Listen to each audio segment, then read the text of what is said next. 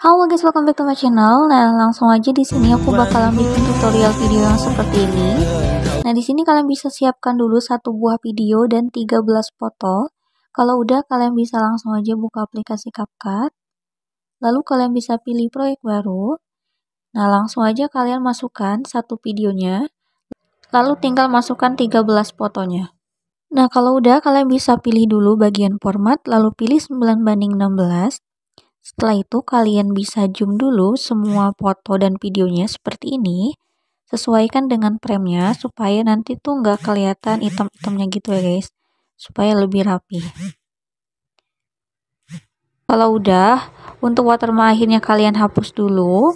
Lalu kalian bisa ke bagian paling depan, klik tambahkan audio, pilih di extract.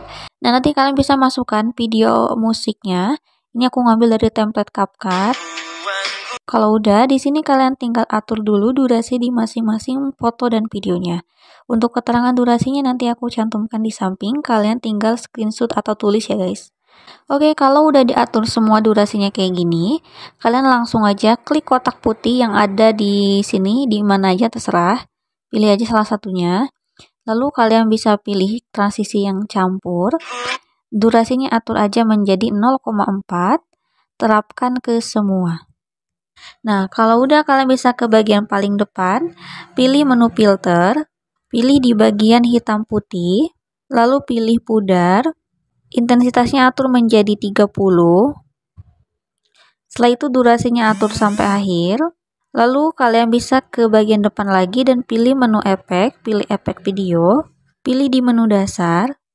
Lalu kalian bisa pilih kamera goyang. Pilih menu sesuaikan. Untuk rentang atur menjadi 5, kecepatannya juga atur menjadi 5. Langsung aja durasinya atur sampai akhir. Kalau udah, kalian bisa tambahkan lagi efek. Pilih di bagian distortion, lalu pilih distorsi riak. Setelah itu pilih menu sesuaikan. Dan untuk keterangannya nanti aku cantumkan di samping ya guys. Nah kalau udah atur aja sampai akhir durasinya. Nah lalu kalian pilih objek dan pilih semua video. Oke, kalau udah bisa tambahkan lagi efek. Pilih di bagian dasar, lalu kalian pilih vignette dan durasinya tuh sampai akhir. Nah, lalu kalian pilih objek dan pilih semua video.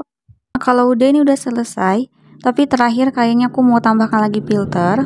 Di sini aku ngambil dari bagian hitam putih dan aku mau tambahin lagi filter yang ini, yang hutan hitam intensitasnya nggak akan aku atur lalu tinggal pulkan aja durasinya. Oh iya satu lagi. Kalian bisa ke menu efek lagi. Nah di sini kalian bisa ke bagian tekstur lalu pilih butiran. Durasinya atur sampai akhir.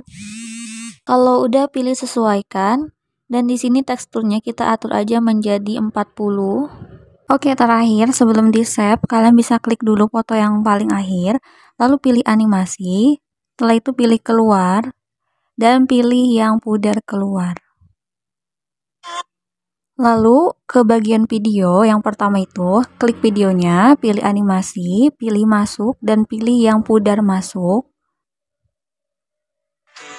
Nah kalau udah kalian tinggal save aja ke galeri, klik panah yang di atas ini. So segitu aja video dari aku, thanks for watching, wassalamualaikum warahmatullahi wabarakatuh.